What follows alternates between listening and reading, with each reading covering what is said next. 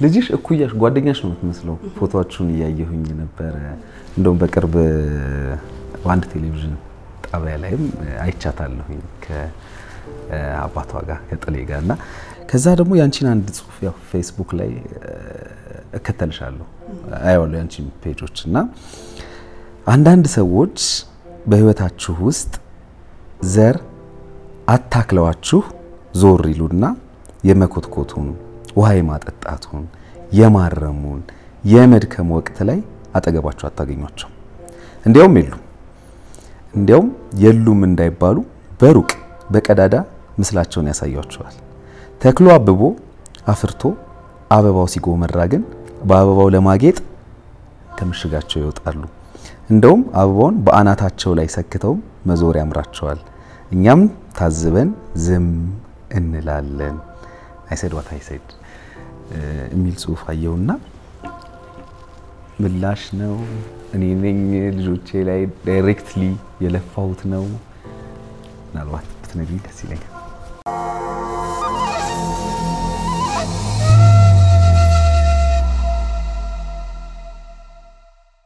ሰላም ጤና ይስጥልን። የተከበራችሁ የእዮሃ ሚዲያ ቤተሰቦች እንደምን ሰንብታችኋል? በእዮሃ ሚዲያ የዩቲዩብ ቻናላችን የተለያዩ ቤተሰባዊ፣ ማህበራዊ ያልተነኩና ያልተዳሰሱ ታሪኮችን ወደ እናንተ ወደ ተከበራችሁ ተመልካቾቻችን እንደምናደርስ ይታወቃል። ዛሬም አንድ አስተማሪ ታሪክ ይዘንላችሁ መጥተናል። ደራሲ ናት፣ እንደዚሁም ደግሞ የውበት ባለሙያ ናት። ከዚህ በተጨማሪ የሶስት ሴቶችና የአንድ ወንድ ልጅ እናትም ናት።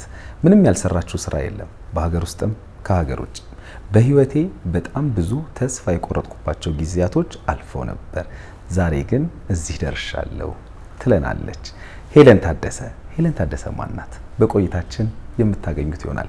እኔ አለምሰገድ ታደሰ ነኝ።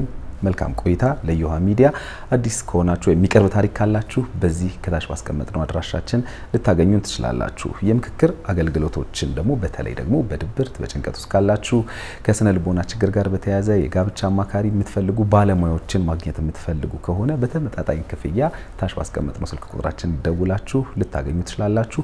አብራችሁን ቆዩ። ዲኤምሲ real estate በመሀል አዲስ አበባ ለቡ መብራት ኃይል ዋናው መንገድ ላይ በፈጣን የግንባታ ሂደት ላይ የሚገኙ ዘመናዊ አፓርታማዎችን በመሸጥ ላይ ይገኛል። ሙሉ በሙሉ በ aluminium formwork በመገንባት ላይ የሚገኙት ቤቶቻችን በ15% ቅድመ ክፍያ በ8 ዙር በሚያልቅ ከ755 ሺህ ብር ጀምሮ ከፍለው የግሎ ያድርጉ። ስቱዲዮ 554 ካሬ፣ ባለ 1 መኝታ 76 ካሬ፣ ባለ 2 መኝታ 132 እና 140 ካሬ፣ ባለ 3 መኝታ 147፣ 164 እና 169 ካሬ ቤቶቻችን በሙሉ ተጨማሪ የሰራተኛ ክፍሎች እንዲሁም store ና laundry ክፍሎች ያላቸው ሲሆን ለበለጠ መረጃ በ0983 79 66 22 ላይ ይደውሉ። ዲኤምሲ real estate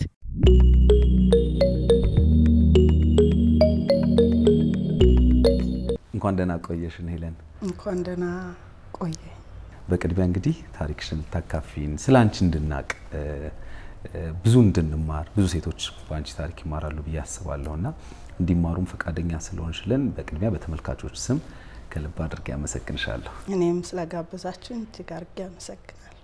ወደ ኋላ ልመልስሽ። እስቲ ከአስተዳደግሽ ልጀምር። ሄለን የታደገች አስተዳደጓ እንዴት ነበረ? ስለ ቤተሰብ ስንተኛ ልጅ ነበርሽ? የተወለድኩትና ያደግኩት ኳስ ሜዳ የሚባል አካባቢ ነው።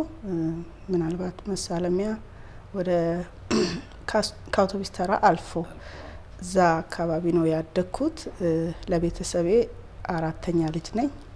ስድስት ነበርን እና ጥሩ ነበር ማለት በልጅነቴ በጣም ቀልቃላ ወይም ቀዥቃዣ ከሚባሉ ልጆች ነበር የሚመደበው። አሁን ሳየው ግን art ውስጥ ከመግባቴ ጋራ ያም ተጽዕኖ አለው ብዬ አስባለሁኝ። በጣም ብዙ ነገሮችን ቤት ውስጥ እያደረግኩኝ ከቤተሰቤ ጋራ አዝናናቸው ነበር። እንደ ትወናን ወይም ደግሞ ማንኛውንም ሙዚቃንን በተመለከተ ኮፒ የማድረግና ወዲያው የራሴ አርጌ የመጫወትና የመተግበር ባህሪ ነበረኝና አዝናናቸው ነበር እና በጣም የማልያዝ ቤት ውስጥ ማልቀመጥ ውጪ መጫወት፣ መሮጥ በቃ ደስተኛ የነበርኩበት አይነት የልጅነት ጊዜ ነው ያሳለፍኩት። ሰፈራችሁም ተጽዕኖ አለው ብዬ አስባለሁ። በተለይ ወደ አርቱ ለመቅረብ እንግዲህ በጣም በርካታ የጥበብ ሰዎች ከኳስ ሜዳ ወጥተዋል። እንግዲህ የምናውቃቸው በጣም ብዙ የጥበብ ሰዎች አይደል? እውነት ነው። በጣም ብዙ የጥበብ ሰዎች ወጥተዋል ከዛ ከኳስ ሜዳ አካባቢ። በዚህ ላይ ስፖርትን በተመለከተ ኳስን በተመለከተ እጅግ በጣም ብዙ ልጆች ኳስ ተጫዋች እየሆኑ ነው። እንደው ወደ ኋላ እንኳን ተምረው ሌላ ቦታ ሌላ profession ቢይዙ መጀመሪያ ግን ሁልጊዜ ቤዛቸው ከኳስ ጨዋታ ነው። የኳስ ሜዳ አካባቢ ስለነበር ቀልዱ፣ ሳቁ፣ ጨዋታው በጣም ደስ የሚል ነው እና ሁሉም ሰው የዛ ሰፈር እዛ ሰፈር ተወልዶ ያደገ ልጅ ቀልደኛ የማይቀልድ ወይም ደግሞ የማይጫወት አታገኝም እና የትም ተወለድ ኳስ ሜዳ አረግ ይላሉ።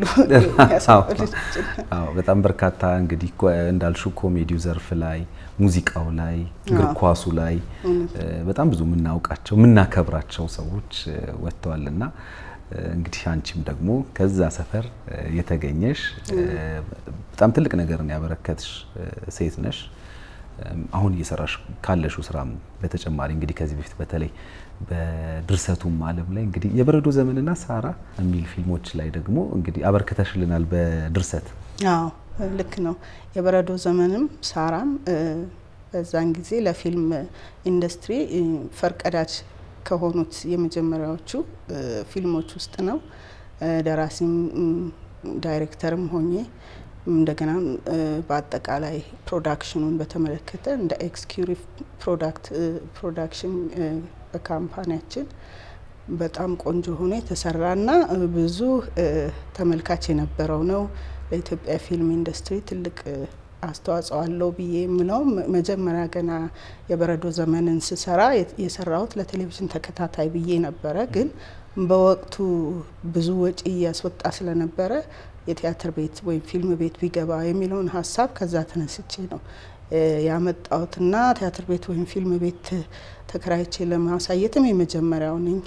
እንደውም በዛን ጊዜ ሲሄድ እኛ የኢትዮጵያ ፊልም አናሳይም፣ የምናሳየው አዎ የሆሊውድና የቦሊውድ ፊልም ነው እና ተመንም የለንም ሲሉ ተመን አውጡና ንገሩን ብያቸው ከዛ በኋላ ተመን አውጥተው ነገሩኝና የበረዶ ዘመን መታየት ጀመረ። በጣም ቆንጆ ነበር፣ ሰክሰስፉል ነበር። ከዛ በኋላ ቀዝቃዛ ወላፈን መጣ፣ ከዛ ጉድፈቻ መጣ ማለት ነው እና አዎ ድንቅ ነበር። እንደውም ሳራ የፊልም ፌስቲቫል በስዊድን ጎተንበርግ ተጋብዤ ሄጄ ፊልም ፌስቲቫል ላይ ሁሉ አሳይቼው ነበር። እንግዲህ ኳስ ሜዳ ማደግ በራሱ ቅድም እንዳልነው የሚፈጥረው ነገር አለ። በአካባቢሽ የምታያቸውን ሰዎች እያየሽ ስታድጊ እነሱን ለመሆን ብዙዎች እንደዛ ላይ ያደግነው አብዛኞቻችን። ስለዚህ ያ ተጽዕኖ ፈጥሮብሽ ነው ወደ ፊልሙ የገባሽው ማለት ነው? አዎ ሊሆን ይችላል። አስተዳደግ ትልቅ ወሳኝነት አለው። አሁን ለምሳሌ ካለፈ በኋላ ድሮ አብረን የምንጫወተው ጓደኞቻችን አብረን ያደግን ልጆች ሲነግሩኝ ድሮም እኮ አንቺ ግን እንትን ዋለሽ እንደዚህ አይነቱ ነገር ተረት ትነግሪንና በጣም ተመስጠን ሰምተንሽ ልክ ስጨርስ ወይኔ የተሰማሽው ስንልሽ ፈጥሬ ነው ቲ ነበረ ይላሉና የሰፈሩ የቀልድ ጨዋታው ያ ሁሉ ተጽዕኖ አለው art ላይ አሁን አይተ ከሆነ ብዙ ነገር እሰራለሁ። ቅድም እንዳልከው ብዙዎቹ ግን ከ art ጋራ የተገናኙ ናቸው፣ ከተሰጥኦ ጋራ የተገናኙ ናቸው። ለምሳሌ አሁን ሞያም ስመርጥ ከተሰጥኦ ከ art ጋራ like አንድ አርቲስት እጁ ወይም ደግሞ የመፍጠር brain ኑ የሚሰጠው ብዙ opportunity አለ በሚሰራው ስራ ዙሪያ ማለት ነው። ከዛ ከራሴ talent ከራሴ ተፈጥሮ ጋራ የሚገናኙትን unconsciously ሳላቀው እየመረጥኩ እዚህ የደረስኩ ይመስለኛል ብዙውን ነገር እና አስተዳደጌ ልክ ነው። በጣም ትልቅ ተጽዕኖ አለ። እንግዲህ ከዛ በኋላ ነው ወደ ትዳሩ ዓለም ገብተሽ እንግዲህ አራት ልጆችን አፍርታችኋል። ከጥሌ ጋር እንደሚታወቅ ሁሉም ሰው እንደሚያውቀው ከዛ በኋላ እንግዲህ መቼ ነው ከሀገር መውጣቱ የመጣው? ያ ጊዜ እንዴት አለፈ? እንዴት መጣ? አዎ እንግዲህ ምንድን ነው መሰለ በልጅነቴ በጣም በልጅነቴ ነው የወለድኩት እና ከዛ በኋላም ማለት ራሴን ብዙ ራሴን ማወቅ በማልችልበት ሁኔታ ልጆችን ለማወቅ ጥረት በማደርግበት At same time ራሴንም ለማወቅ ራሴን ፍለጋ ላይ ነኝ እንደገና parent ነት ወይም ደግሞ እናትነትን face ማድረግና በዛ መልኩ ደግሞ እንዴት ትክክለኛ እናት ሊሆኑ ይችላሉ የሚለውን ነገር ፍለጋ ላይ ነበርኩና ብዙ አይነት ነገር ነበረ። ቀላል አልነበረም በጊዜው ግን ቀስ እያሉ ነገሮች እየተሞረዱ እየተሞረዱ ትክክለኛው ስለት ላይ እስኪመጡ ድረስ ብዙ ዋጋ ከፍያለሁ ማለት ነው እና ከዛ በኋላ ያው እንግዲህ የተወሰነ እና ጊዜ እዚህ ልጆቹ ልጆች ነበሩ። ለምሳሌ መጨረሻው ልጅ ሲሄድ በአሁኑ አምስት አመት ስድስት አመት ቢሆነው ነው።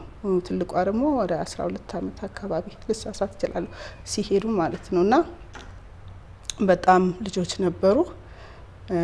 ወደ አሜሪካ መሄድ የፈለኩበት የራሴ ምክንያት ነበረኝ። ከዛ በኋላ እዛ ከሄድኩ በኋላ ነገሮች ያው በተለያየ ሚዲያ ላይ ሰምተዋል። ብዙ ውጣ ውረዶች ነበሩ። እንደገና ደግሞ እዚህ ፈልጌ ያልጨረስኩትን ማንነቴን እዛ ደግሞ እንደገና ፍለጋ ውስጥ ገባው ማለት ነው። ልጆቼ ሌሎችም እዚህ ስናሳድግ ምንም ማለት ማለት እዚህም አሁን ኑሮ ከብዷል። በእርግጥ ግን ያኔም ቀላል ነው ማለት ሳይሆን ግን በሀገራችን ስናሳድግ የሚያግዙን ሰዎች አሉ፣ ቤተሰቦች፣ ብዙ ነገር አለ።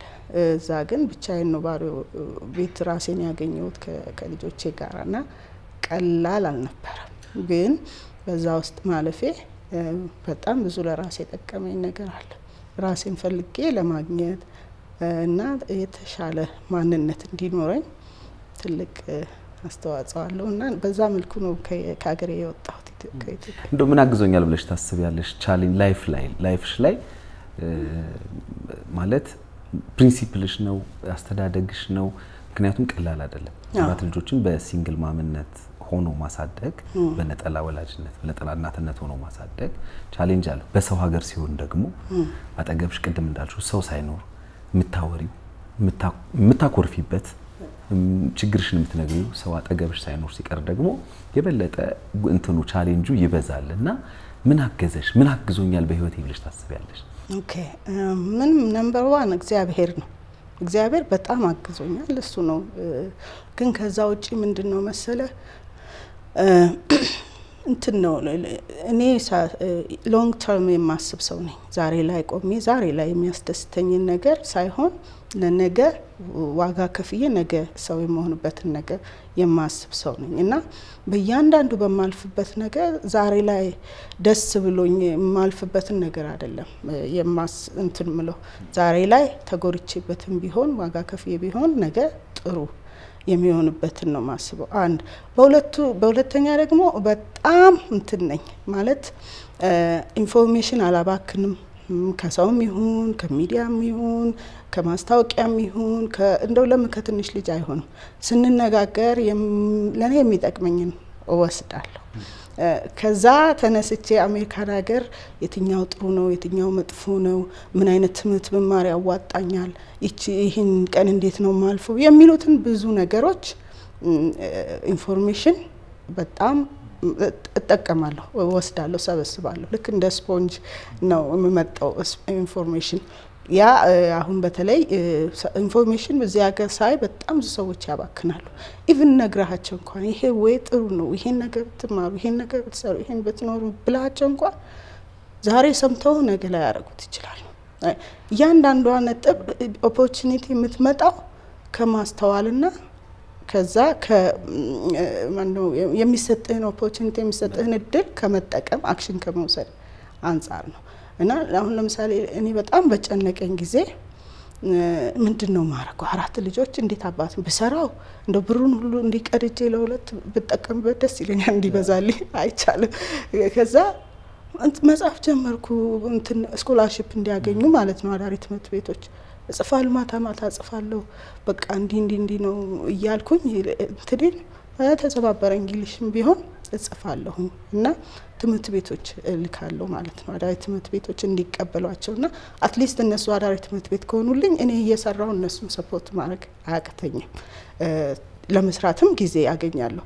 ምክንያቱም አራት ልጆች አራት ባስ ነበር የሚይዙት ትምህርት ቤት ለመሄድ በተለያየ ባስ ነበር የሚሄዱት በዛን ጊዜ አብረውን በነበሩ ጊዜ እና አንዱን አድርሻ አንዱን ለማድረስ እኔ ስፕሊት ካልሰራ የማይደረስበት ሁኔታ ሁሉ ነበረ።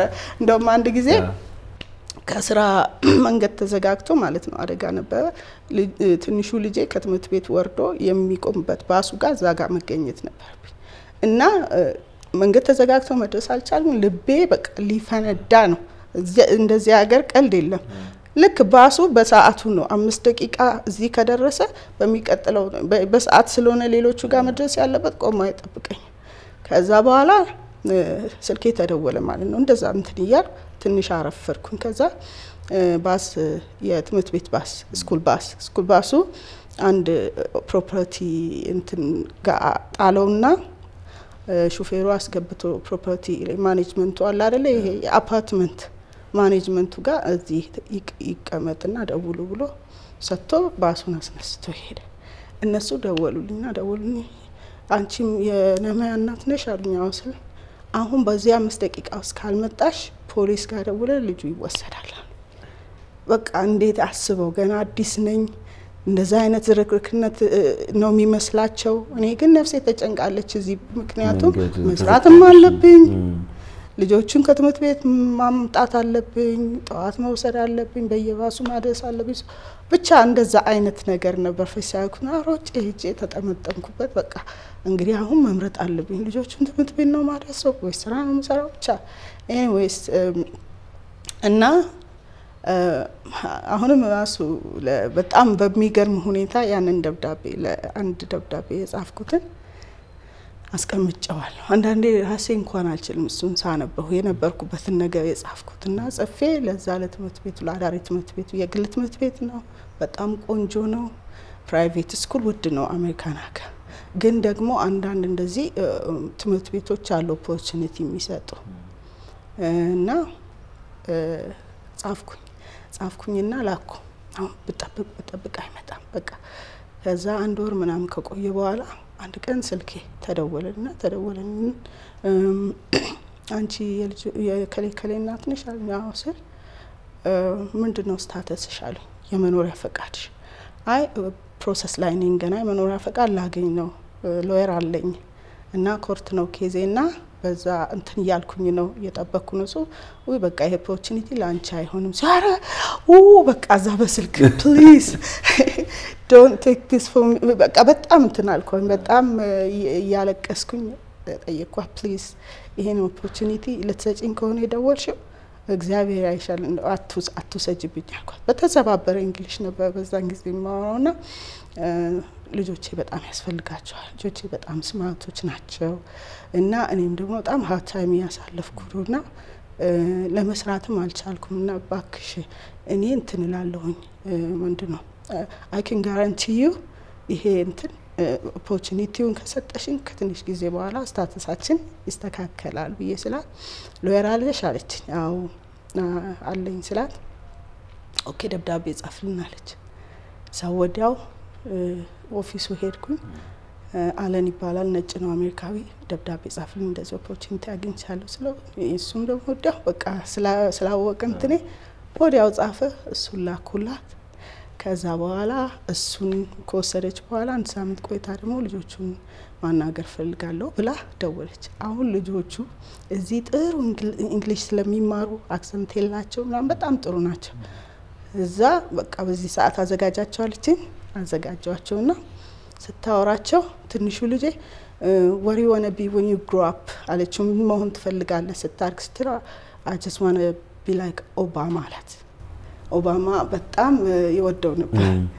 ከዛ ብዙ ነገር አወራቻቸውና ከዛ ስልኩን ተቀብላ ልጆችሽ በጣም smart ናቸው፣ በጣም እንትን ናቸው እና you are blessed አለች። በቃ አንቺ በጣም blessed ነሽ አለች። እና ስምንት ሰዓት መንገድ ነው የሚኬደው ለእንትኑ ለትምህርት ቤቱና እቃቸውን በሙሉ pack አርገሽ በዚህ ቀንና በዚህ ሰዓት ነው ያለችኝ። እዛ ድረስም መሄድ በጣም ከባድ ነበር። ብቻ anyway አንድ ወንድሜ በጣም በዛ ጊዜ ያንን ነገር ስላደረገልኝ ስለደረሰልኝ እስካሁን ድረስ በጣም የማመሰግነው ሽመልስ የሚባል ወንድም ነበረኝ እንደ ወንድሜ የማየው እና እሱ እየነዳ ሄድን ወሰድን እና ምን ብላኝ ነበር አምና guarantee አልሰጥሽም አለች። መምጣት አለባቸው እቃቸውን ይዘው ከዛ በኋላ we're gonna decide what we're gonna do ነገ ምን እንደምናደርግ እዛ እዛው ነው የምንወስነው ብላኝ እየፈራሁ ነው። በቃ በጣም እንትን ነው ማለት በፍርሃትም በደስታም ጭምር ነበር የሄድኩት። እዛ ስደርስ የፈረንጆች ነገር ተሰብስበው ቤቱ ሙሉ welcome እያሉ ልጆች ስማቸውን እየጠሩ ተቀበሏቸው እና ከዛ በኋላ ትንሽ break አገኘሁ። ከዛ በኋላ ምን ላድርግ ወደ ትምህርቱ መግባት አለብኝ። ምክንያቱም አሜሪካን ሀገር፣ ውጭ ሀገር ካልተማርክ ሁሉ ጊዜ የሰው እንትን ሆነህ ነው የምትኖረው። በጣም ብሩም አይበቃህም። የጉልበት ስራ እየኖርክ ነው እየሰራህ ነው የምትኖረው። ከዛ በኋላ ነው እያንዳንዱን ነገር ዋጋ እየከፈልኩ ትምህርት ቤት ገብቼ የጨረስኩት እና ማረግ የጠቀመኝ የዛን ጊዜ ብቻ ለጊዜው የማይመች ነገር ውስጥ ላለማለፍ ቢሆን ኖሮ እስካሁን አንድ አይነት ሰው ሆኜ ይገኝ ነበር እና በጣም ደስ ይላል። ይሄ ብዙ ትምህርት አለው ብዬ አስባለሁ በውስጡ እንግዲህ እንደዚህ አይነት challenge ኦችን ለማለፍ እየፈለጉ እንግዲህ አቅሙን ላጡ፣ ብርታቱን ላጡ፣ ጥንካሬውን ላጡት፣ ተስፋ መቁረጥ ውስጥ ላሉት ደግሞ ይሄ በእጅጉ ያስተምራቸዋል፣ ያነቃቸዋል ብዬ አስባለሁ። ትምህርት ራሱ በጣም ብዙ አይነት ትምህርቶችን አማርጠሽ እንደውም አንድ አንድ ትምህርት ይሄ ይሻለኛል ብለሽ የስፖርት ማሳጅ ጀምረሽ ከዛ በኋላ ደግሞ ትተሽዋል። እሱንም እስኪ ንገሪኝ፣ ምን ምን ትምህርት ገባሽ? ብዙ ነው። እኔ የማሳጅ ስለ massage information ያገኘሁት የቴሌቪዥን ማስታወቂያ ሲተላለፍ ነው። እዛ አሜሪካን ሀገር Everest College ይባላል። ከዛ ወዲያው አየሁ እንዳልኩ እንትን አላባክን ብያለሁ information እና እኔ ደግሞ በዛ ሰዓት በዛ ጊዜ Seven Eleven የሚባል በቃ የወረደ ቦታ ውስጥ ማለት Seven Eleven ለባለቤቶቹ ጥሩ ነው፣ ለሰራተኞቹ ግን ትንሽ የሚከብድ ነው፣ አድካሚ ነው። እዛ ነው የምሰራው። ከዛ ሳይ ቆይ እስቲ ብዬ ደወልኩ ማለት ነው Everest College course ኡን መውሰድ እችላለሁ ወይ ምናምን ምናምን ብዬ ስጠይቃቸው አዎ ምን ያህል ጊዜ ነው የሚፈጀው ብዬ ስላቸው አንድ አመት አሉ። እንደኛ ሀገር ዝም ብለህ ገብተህ ማሽት አይደለም፣ anatomy፣ physiology ሁሉ ነገር መማር አለብህ። ከዛ ወዲያው በማግስቱ አድራሻ ጠይቄ ሄድኩኝ። የአሜሪካ መንግስት ልትማር ከፈለግክ ያስተምራል። financial aid የሚባል ነገር አለ። በ loan በብድር ልትማር ትችላለህ። ራሳቸው ናቸው የሚያመቻቹልህ። ከዛ በኋላ okay ገባሁ ማለት ነው። ምንድን ነው ያስገባኝ? ጉግል ሳረግ ምንድን ነው የ massage therapy ደሞዝ ስንት ነው ሲል በሰዓት አርባ ዶላር የሚል አየሁ እንዴ በሰዓት አርባ ዶላር በጣም ትልቅ ገንዘብ ነው። እኔ የማገኘው በሰዓት ስምንት ዶላር ነው። እንግዲህ አስብ እዛ። በዚህ ላይ tip አለ ከሰው ጋር ስትሰራ። ያችን ሁሉ አስቤ ነው። ከዛ በኋላ በቃ ሄድኩኝ። በማግስቱ እነሱም እንዳትሄድባቸው ስለሚፈልጉ ቶሎ ላጥ ላጥ አድርገው ነው process ኡን የሚጨርሱት። ተጀመረ ትምህርቱ። እዛ እየተማርኩ እዛ Seven Eleven እየሰራሁ ምን እያልኩ ጨረስኩ። አሁን ምንድን ነው እዛ ጋ እንትን ያልኩት ስለ massage therapy የማቀው ውስን ነገር ነው።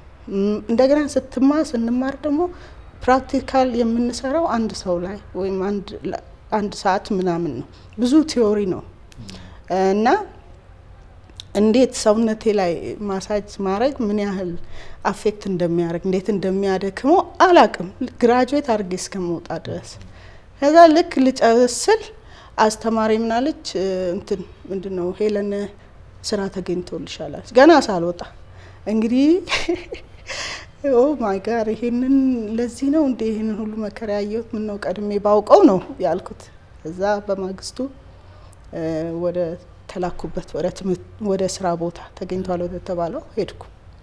ከዛ ወደ ሄድኩኝና ገና ገብቼ manager ዋ interview አረገችና ምናለችና መቼ ትጀምሪያለሽ ስትል any time ስራ ጠዋት ትጀምሪያለሽ፣ ነገ ጠዋት ጀምሪ።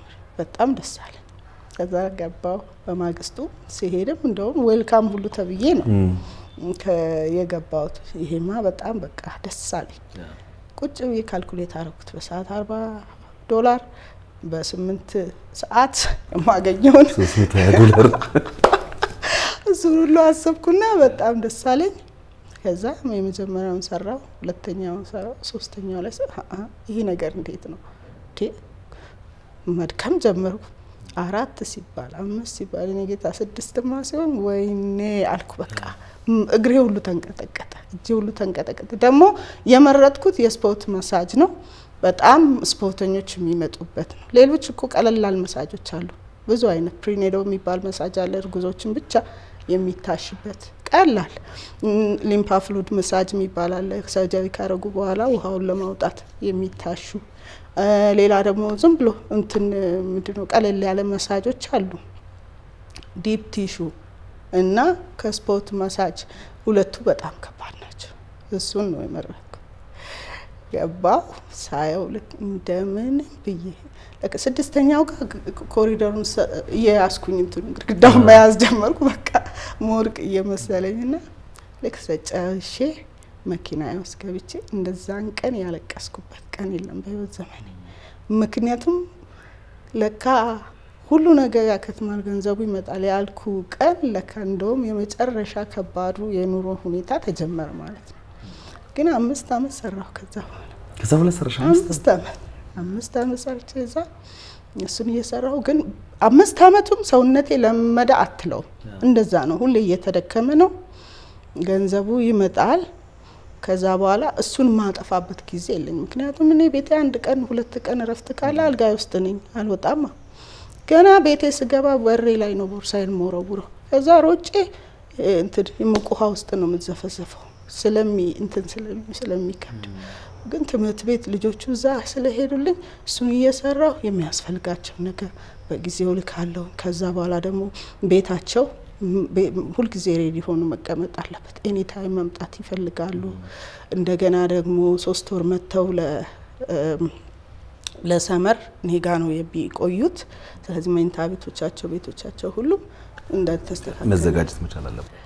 ስለዚህ የግድ መስራት አለብኝ፣ የግድ የቤት ኪራይ መክፈል አለብኝ ምናምናም እንደዛ ሆነና እግዚአብሔር ደግ ነው። ብዙ ነገር አስተማረኝ እዛ ውስጥ እና አንዳንድ ጊዜ client ኦች ወይኔ ምን ነው ታመው እንኳን ባልመጡ ላለሁ በቀሩልኝ በቀሩልኝ ለማረፍ anyway ከዛ በኋላ ነው ሳይ እኔ እኛ እዛ እየሰራን እዛው spa ውስጥ የነጭ ጋውን የዶክተር አይነት ጋውን ለብሰው በስርዓቱ ራሳቸውን ጠብቀው የሚሰሩ ሰዎች አያለሁ።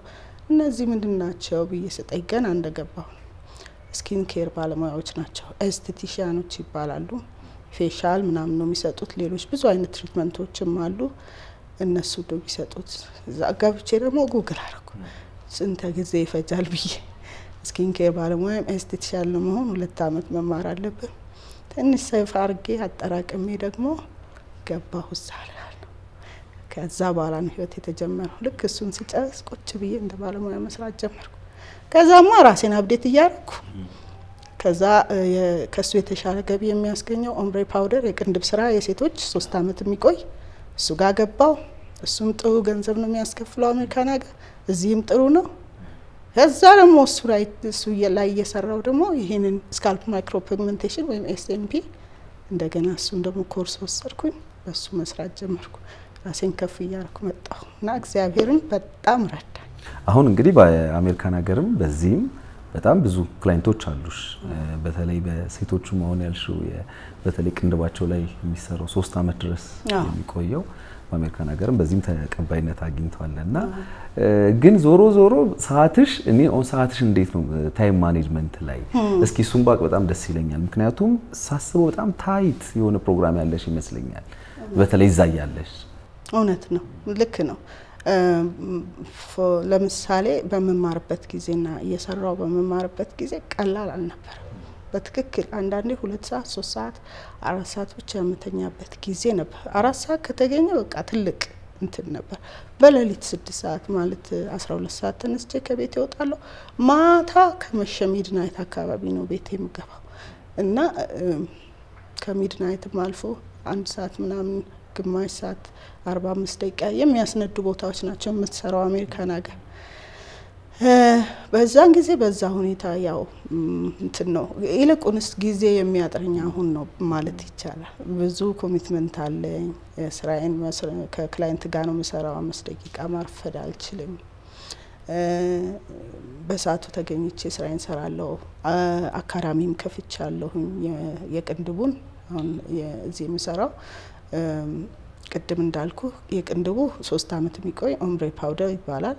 የወንዶቹ scalp micropigmentation ይህ መላጣ ጸጉር ጸጉር ወደ ጸጉር መቀየር ማለት ነው። በጣም ግሩም እና ድንቅ የሆነ ቴክኒክ ነው። ተከላው የተለየ ከንቅለ ተከላው ፍጹም የተለየ ነው። አዎ፣ ብዙዎች ይህን ጥያቄ ያነሳሉ።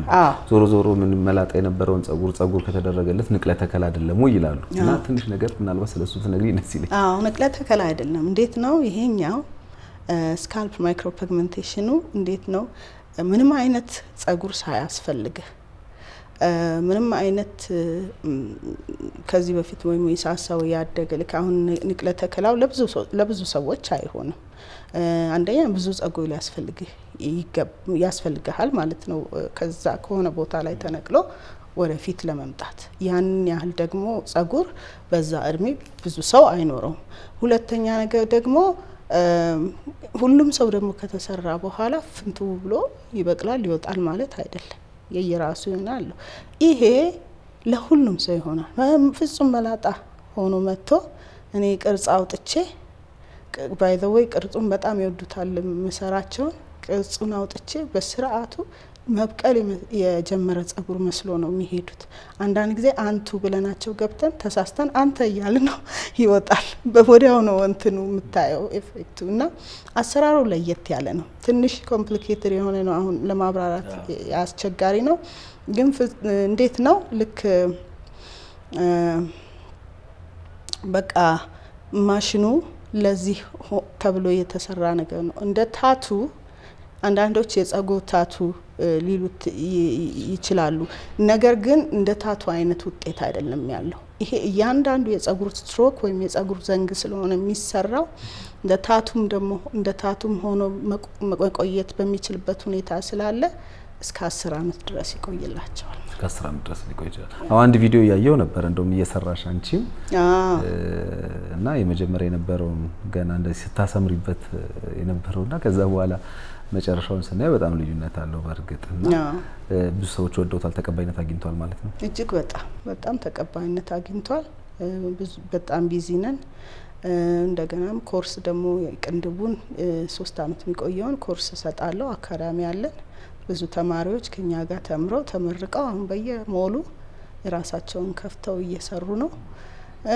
እዚህ ቤቴ ስመጣ ደግሞ ብቻዬን ስሆን ልጆቼ በማይኖሩ ጊዜ አንዳንዴ ሊጠይቁኝ ይመጣሉ። በማይኖሩ ጊዜ ደግሞ ብቻዬን ስሆን ያው እንደምታየው art አንዳንድ ነገር ብቻ ቁጭ አልልም። ያለችኝን ጊዜ በሰዓቱና ማን ነው በመጠኑም ቢሆን stretch አድርጌ ብዙ ነገር ለመስራት እሞክራለሁ። ቤት ውስጥ እንግዲህ የማያቸው ነገሮች በሙሉ አብዛኛው የአንቺ ስራዎች ናቸው። አዎ በጣም ነው የሚያማምሩት። ታዲያ ጋለሪ ነገር እንዴት ነው? አዎ አለ። ሴንቸሪ ሞል ውስጥ downstairs የብዙ አርቲስቶችን ስራ የሚያጠራቅምና የሚይዝ የሚሸጥ ጋለሪ አለ። ሴንቸሪ ሞል በ parking ኡ በኩል ታችና እዛ የኔንም አስቀምጣለሁኝ። ብዙ ሰዎችም ይገዛል። እንግዲህ በዚህ ሁሉ challenge ውስጥ በሄድሽባቸው ባለፍሽባቸው challenge ውስጥ ደግሞ ሌላ የህይወት challenge ጀምረሽ ነበር፣ ወደ ሌላ ትዳር ገብተሽ ነበር። ስለሱ ማውራት ከቻልኩ። እሺ፣ ትዳር አይደለም by the way የእጮኛ ወይም የእጮኝነት ጊዜ ነው። ያው እንግዲህ አንዳንድ ከዚህ በፊትም by the way ፓስተር ቸሬ የሚናገራቸውን ነገሮች በጣም እወዳቸዋለሁ አንዳንዴ እና እጮኛ ማለት እጩ ተወዳዳሪ ነው ብሏል እና እንደ እጮኝነት ነበረ። አሜሪካዊ ነው፣ ክሪስ ይባል ነበር። አየሁ ግን ያው ምንድን ነው እንዳልኩህ እንግዲህ እኔ በእርግጥ በነበርንበት ጊዜ ጥሩ ጊዜ አሳልፈናል። ግን ለአንዳንድ ጊዜ ጥሩ ጊዜ ብቻውን በቂም አይደለም።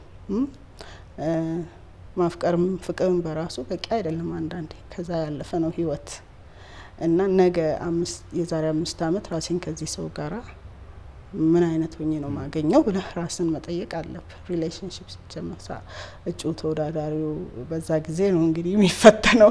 ስለዚህ ውድድሩ ሳያልፍ ቀረ ውድድሩ ሳያልፍ ቀረና ነገሩን ማቋረጥ ስለነበረብኝ ረዥም relationship ነበር፣ አራት አመት ነበር። ግን በቃ መቆም ባለበት ሰዓት ቆመ። እንደዛ ነው። ልጅሽ እኩያሽ ጓደኛሽ ነው የምትመስለው። ፎቶዎቹን እያየሁኝ ነበረ።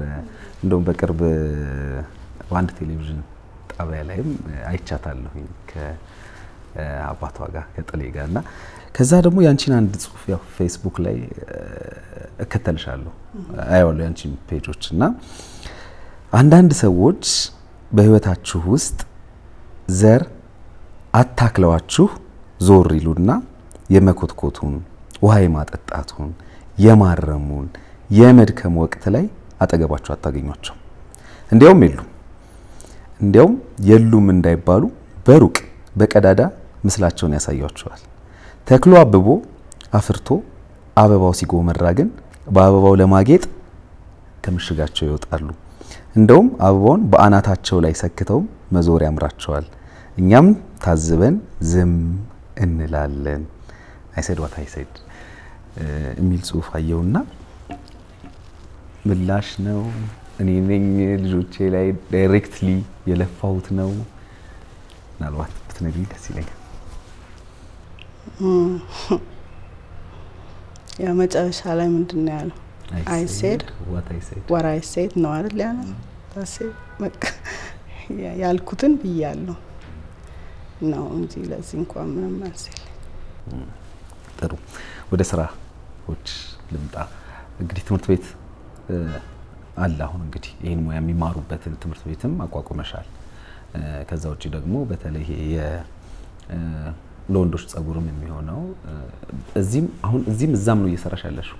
አዎ እንዴት ነው ቋሚ ስቱዲዮ ያለኝ እዚህ ነው አትላስ አካባቢ ራካን ሞል ውስጥ ሁለተኛ ፎቅ እዛ በቋሚነት ደንበኛ እንቀበላለን።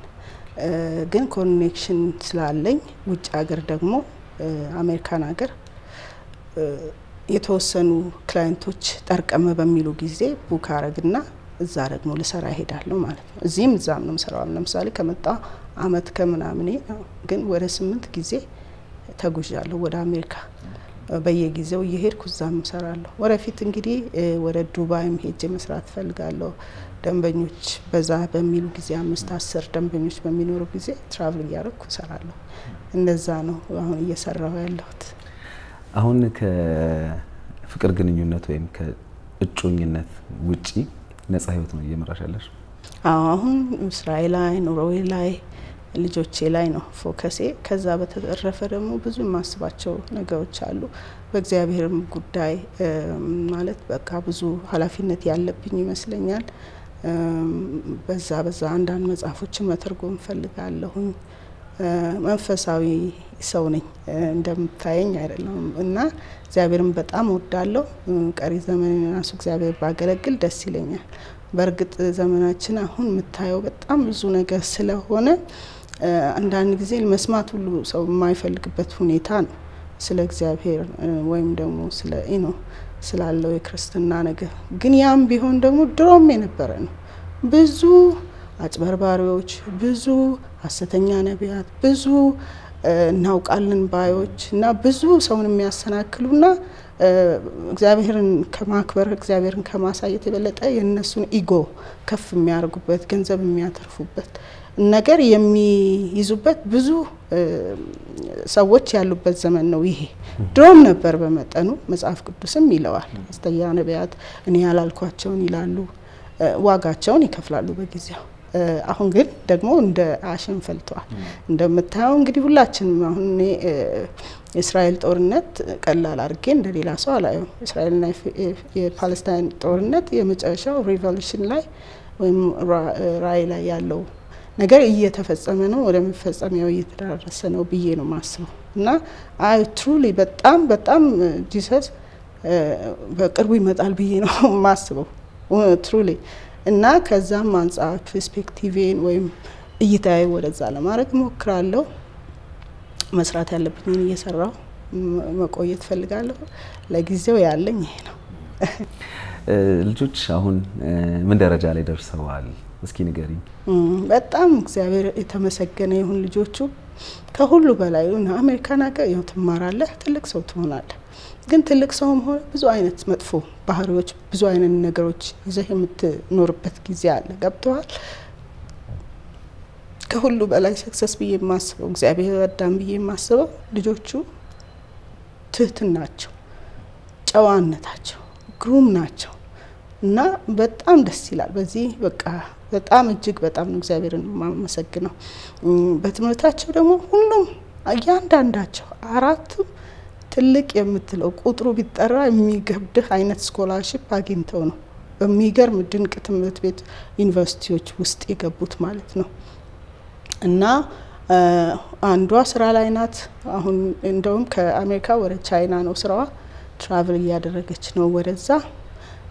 ወንዱም ስራ ላይ ነው። ሁለቱ እንግዲህ ለጊዜው እኔን ሊጠይቁ መጥተዋል። እነሱም ሲመለሱ እንግዲህ ወደ ስራቸው ይገባሉ ማለት ነው እና ጥሩ ቦታ ላይ ያሉት እግዚአብሔር ይመስገን። ሀገራቸውን መጥተው እንደሚያገለግሉ ተስፋ አደርጋለሁኝ። ሀገራቸው ላይ የተለየ ነገርን ሰርተው ብዙ እንግዲህ ማህበረሰባችን መገልገል አለበት ብዬ አስባለሁኝ እና ያን እንደሚያደርጉ ተስፋ አደርጋለሁ። ምክንያቱም አንቺም ይሄን አስበሽ ነው እንግዲህ አሁን እዚህ እየተንቀሳቀሽ ያለሽው አይደል? አዎ እውነት ነው። by the way ከውጭ መጥቶ ሀገራችን ለመስራት የሚወስን ሰው በጣም ሊመሰገን ይገባዋል። የኔን ተወው፣ በጣም ብዙ ሰዎች ይመጣሉ፣ encourage ሳይደረጉ ተስፋ ቆርጠው ይሄዳሉ። በ group መጥተው በ group የተመለሱ ሰዎች አውቃለሁ። የስራው ሁኔታ ያነ ግን እዛ የሚገኘው ነገር አንሶባቸው አይደለም የሚመጡት። to be honest አሁን በእኔ ሙያ እዛ የበለጠ ይከፍለኛል። ሌሎቹም አውቃለሁ። አሁን አንድ ዶክተር ነቅሎ እዚህ ሲመጣ፣ ነርስ እዚህ ነቅሎ ሲመጣ በጣም ትልቅ ተከፋይ ናቸው። ግን እዚህ የሚመጡት በቃ ቢያንስም ያለው ከሀገሬ ሕዝብ ጋር አገሬን ጋር ቁጭ ብዬ ከሀገሬ ሕዝብ ጋር ሆኜ ብሰራ ይሻላል ብለው ነው የሚመጡት እና ፈልገው እንደሚመጡ ማሰብ የለብንም። ጥለው እንደሚመጡ ነው ማሰብ ያለብን እና በጣም በዚህ ጉዳይ ላይ ኢንከሬጅ ቢደረግ ብዬ ላለው ከውጭ የሚመጡ ሌሎቹንም የሚገፋፋ ነገር ይሆናል እና ይህን ብለን ነው እንግዲህ የመጣ ነው። ደስ ይላል። እግዚአብሔር የተመሰገነ ይሁን። ሁሉም ነገር መልካም ነው። የማይከፋ ጊዜ አንዳንዴ ይከፋል፣ አንዳንዴ ጥሩ ያልሆነ ነገር ታያለ። የምታልፍባቸው ነገሮች አሉ። በየቀኑ ፌስ የምታደርገው ብዙ ነገር አለ። ግን ሁሉም ጋር እንግዲህ ጥሩም መጥፎም ነገር አለ። በዛ መልኩ ነው እንግዲህ እንዳልሽው ይሄ በተለይ ከሀገር ውጭ ሆነው ወደ ሀገራቸው ላይ መጥተው መስራት ማገልገል፣ ይህን ውስጣቸው ማደሩ በራሱ በጣም ትልቅ ነገር ነው። አንቺ ሜን እያደረግሽ ነው ያለሽው። እንደ ሁሌ ወደ አእምሮ የሚመጣው ዶክተር አግባር እንግዲህ የልብ ጠጋኙ ስሰማ የሱን ታሪክ ሁሌ ይሁን ነገር ውስጥ ይቀመጣል። ለብዙዎች ትምህርት ይሆናል ብዬ አስባለሁኝ። የቀረቡለትን በጣም ብዙ እድሎችን በገንዘብ ደረጃ እንግዲህ ብዙ ሊያገኝባቸው የሚችሉ ነገሮችን ትቶ ነው እዚህ ይህን ነገር እያደረጉ አሉ። ሌሎችም በጣም ብዙ ሀገራቸው ላይ ኢንቨስት እያደረጉ ያሉ፣ ሀገራቸው ላይ እያገለገሉ ያሉ፣ በሙያቸው እያገለገሉ ያሉ አሉ እና መብዛት ስላለባቸው ነው። ያብዛልን፣ እንደነሱ አይነት እንደናንተ አይነት ሰዎችን ያብዛልን ለማለት ስለፈለግኩ ነው። እንደው ይህን ለሚያዩ ሴቶች ይህን ለሚያዩ አጠቃላይ ወንዶችም ሴቶችም በተለይ ከሀገር መውጣት አሁን አንዳንዴ ግምቱ ከሀገር ሲወጣ አሁን ለምሳሌ አሜሪካን ሀገር እኮ ዘመድ አለው ከተባለ አንድ ሰው በቃ ሁሌ ብር የሚፈስ የሚላክለት ሁሌ እንደዛ ነው የሚያስቡት እና እዛ ግን ሄዳችሁ አይታችሁት face ያደረግሽው ነገር ደግሞ አንቺ በህይወትሽ አለ። challenge ኡን በደንብ አይተሽዋል። እንግዲህ የመጀመሪያው ግምት አለ፣ ከዛ እዛ የገጠመሽ ነገር አለ። ከዛ ደግሞ ተመልሰው ከአሜሪካ የመጣ ሰው ሲባል ከውጭ እኮ ነው የመጣው በቃ ብሩን ጭኖ ነው የመጣው የሚባል አይነት ግምቶች አሉ እኛ ሀገር ብዙ ጊዜ እና እንደው እዚህ ላይ የሆነ ነገር ብትልኝ ደስ ይለኛል ስላየሽው። አሁን አሜሪካን ሀገር ቀላል አይደለም ኑሮ። ነገር ግን ሀገራችንም ቀላል አይደለም።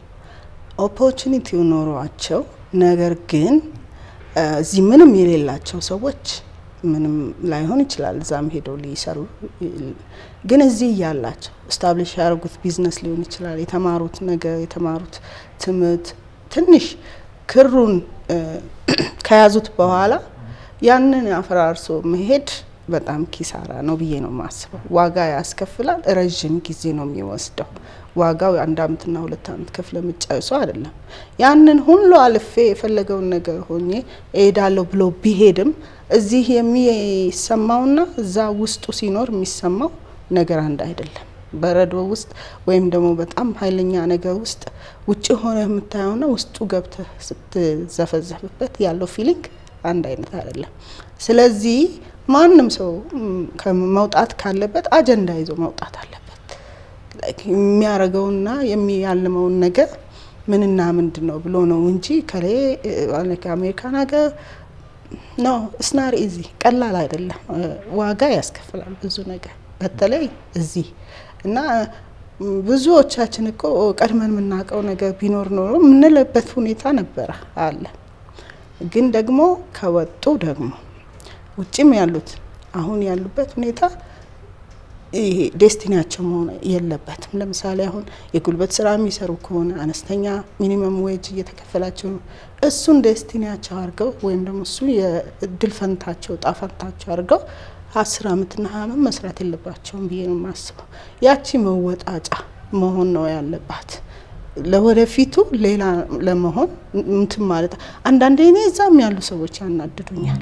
ስትነግራቸውም አንዳንዶቹ አይሰሙም። ይሄን ያህል እኮ ጊዜ ወስደህ ይሄን ኮርስ ብትወስድ በአሁን ከሚከፈል ሶስት እጥፍ ታገኛል ስትለው ወዲያውን information trash የሚደረገው ወዲያው እና ግን ከአምስት አመት በኋላ ብትሄድ the same position በዛው ሁኔታ በዛው ደሞዝ ውስጥ ልታገኘው ትችላል። እና ጥሶ መውጣት አለበት አንድ ሰው ከሀገሩ ከወጣ ብዬ አስባለሁ። በጣም ደስ ይላል።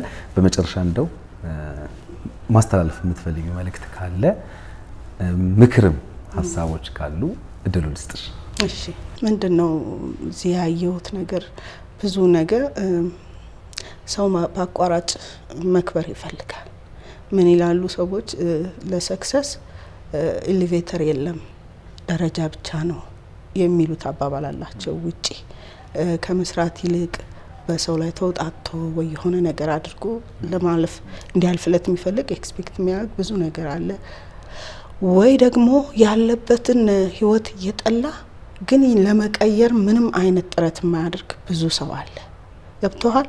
እሱን ማንም ሰው ዛሬ ያለበትን ቦታ ከጠላ ያመጣኸው አንተ ነህ። ነገም ደግሞ ሌላ ማምጣት ትችላለህ ማለት ነው። ያ ቢገባው ብዬ አስባለሁ። life is not easy ቀላል አይደለም። life hard ነው። life የትኛውም መጽሐፍ ቅዱስ አሁን የ prosperity ወይም ደግሞ የብልጽግና ምናምን እንደዚህ ባንክ ብር ባንክ ገንዘብ አስቀብል እንደዛ ብሎ ነገር የለም። ራሱ Bible ራሱ ተናግሯል። life ቀላል እንዳልሆነ ዋጋ እንደሚያስከፍል እንደገናም ደግሞ እንትን ምንድን ነው ጥረህ ግረህ በላብህ። exactly እሱን ነው ምልህ እና ሁሉም ነገር ያልተጻፈ ማንበብ የለብንም። እንዴ እኔ በጣም ነው ማፍረው አሁን ባንክ ቡካችሁን አምጡና ይጸለይላቸው። ያም ገንዘብ ነው ከዛ የሚወሰደው። እና አንዳንድ ጊዜ ለሚመለከተውም ጭምር ነው የምለው እነዛ ሰዎች ክርስቲያኖችን በሙሉ አይወክሉም።